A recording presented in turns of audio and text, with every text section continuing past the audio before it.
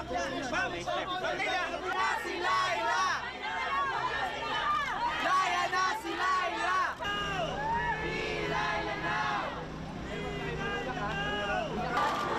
years, for years, my whole being has been crying out for justice and freedom.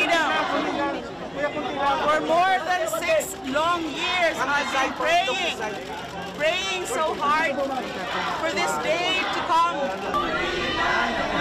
One of our sons.